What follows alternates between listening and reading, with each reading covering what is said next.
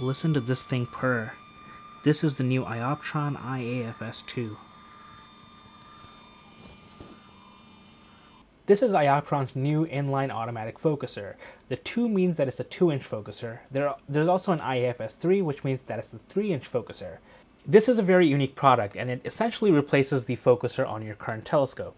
So if you have a rack and pinion or a Crayford focuser like this, if you want to install an electronic focuser, you need to install a bracket at the bottom, take out one of the coarse knobs here, and then install something on the side so that something stays attached on the side, which is a totally fine way of doing it. But what the IAFS does is that it becomes an inline focuser. So you can see that it doesn't have any knobs on the side.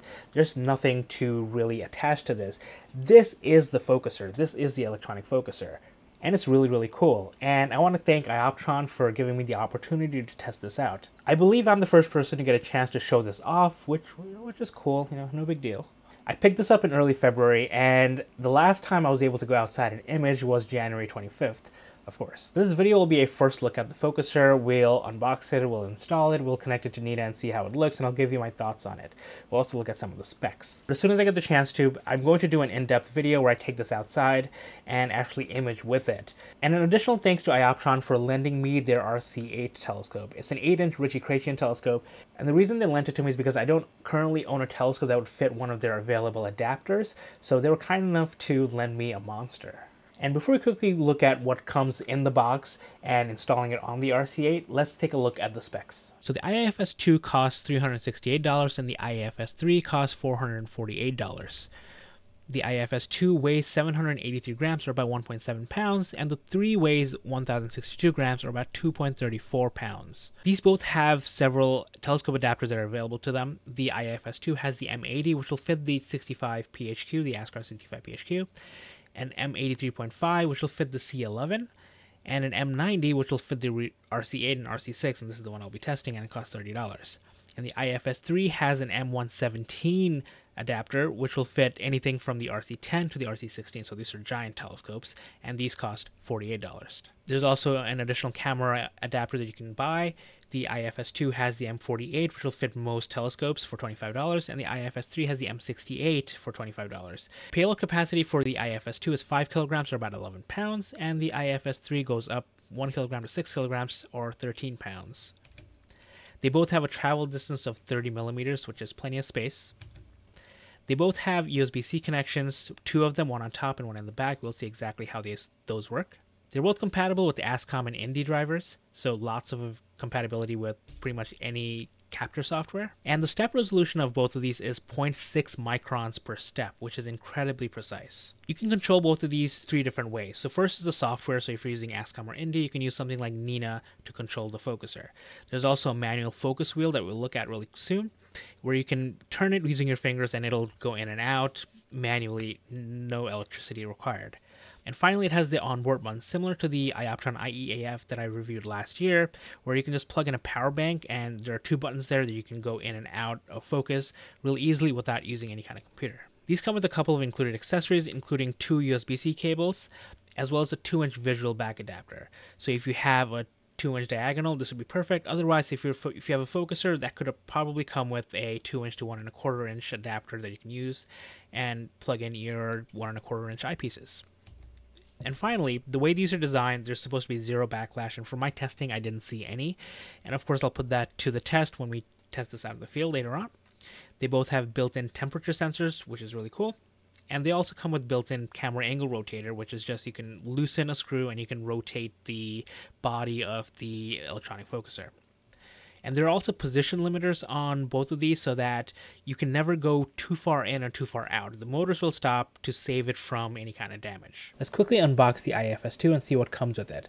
So this would usually come with a 2 inch visual back, but I received it separately since it's still a test item. But when you order yours, yours should be in the box. Inside we have the IFS2 body, feels pretty good and solid. Then we have a couple of USB-C cables. And this one here came with the M48 camera adapter, but it will be an additional accessory that you have to purchase. So installing this is super easy. The first thing you should do is make sure you take off the focuser that's already there. In systems like the RC8 here, it's really easy. You just twist this off. And that came off and you can see that this is a really nice Crayford focuser. It has both the coarse focuser and a fine focuser here. And you can see the numbers goes up to about 90 millimeters, so it just goes pretty far, but it doesn't come out that all the way. I think it only comes out to about 50 millimeters, but still great focuser, but you want to make this even better. Now, usually these scopes will come with adapters for imaging. So this came with uh, 50 millimeter and 225 millimeters, and I think I need two, what, 25 millimeter and a 50 millimeter maybe the other 25 millimeter as well. I'm screwing that in there. I'll figure that out later on. And then now we have our IAFS2, and this just screws on at the bottom here. And there's a screw here, a locking screw, so you can unhook this, you can loosen that. You can actually move the thread here, uh, independent of the actual focuser itself, so you can reposition it, make sure that it's in the orientation that you'd like. So that's pretty easy to do and close it up.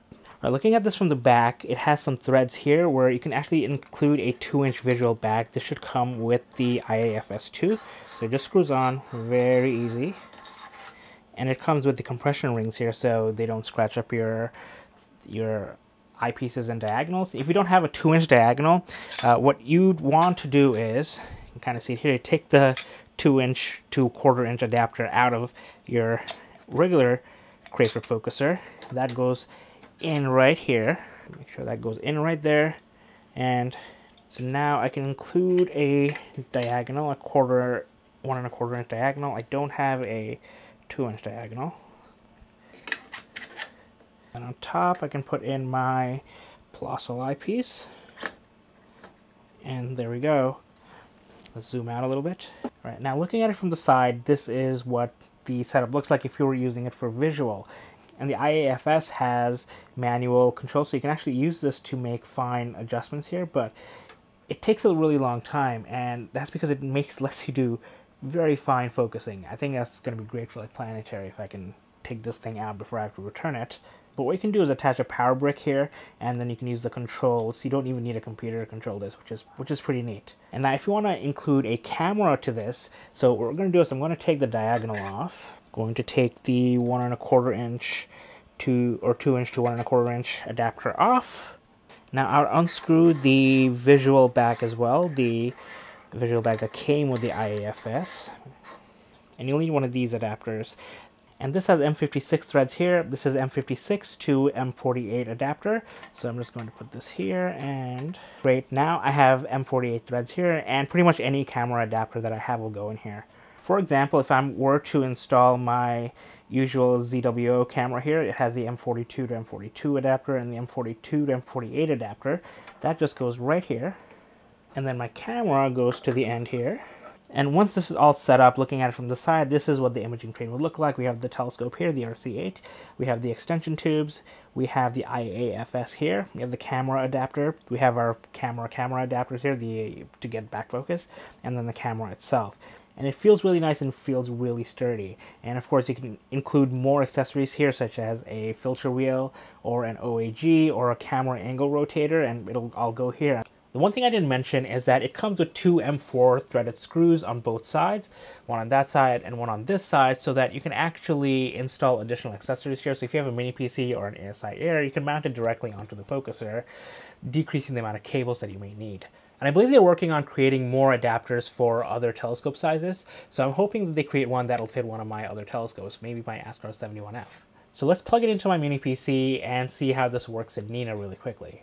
so I'm connected directly to my IFS and my mini PC here. And luckily it works with the same standalone focuser app that we installed back when I did the iOptron IEAF video uh, last summer. If I open that up, it'll automatically detect the focuser and the only difference is that it's using version 1.04, where before we were using 1.03. So make sure you have the latest software and driver downloaded. I'll put the link in the description below.